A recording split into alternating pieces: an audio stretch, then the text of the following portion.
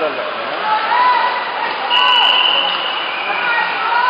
Ja, het is nu gelijk, hè, maar langs is dat. Dat is natuurlijk gezegd. En dan gewoon, en dan gewoon in de dan. Hey, hey.